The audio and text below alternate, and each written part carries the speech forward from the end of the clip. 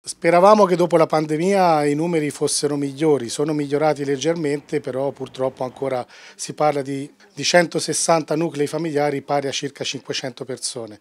Eh, sono italiani e stranieri, sono aretini e non aretini, purtroppo sono tutte persone che eh, si trovano in una situazione di estrema difficoltà.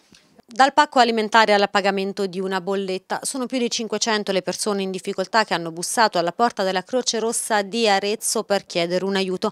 Una fotografia senza dubbio allarmante che riguarda anche i più piccoli. Sono famiglie che prima si trovavano in difficoltà, ora si trovano in difficoltà ancora più più accentuate dovute ai rincari generalizzati che ci sono stati della, della normale gestione della vita di una famiglia.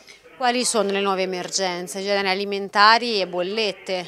Generi alimentari, bollette, a volte anche vestiario, noi cerchiamo di supportare per quello che, che possiamo tutte le famiglie che si rivolgono a noi attraverso eh, i servizi sociali del Comune di Arezzo. Ecco, si parla di famiglie, dai vostri dati sono circa 500 le persone che hanno bussato alla vostra porta, il 10% di questi sono minori, sono giovanissimi, anche loro ovviamente in difficoltà. Sono minori eh, fino all'età adolescenziale, eh, a volte hanno difficoltà anche per eh, avere il corredo scolastico per il primo giorno di scuola. In questo caso voi potete dare sicuramente una mano.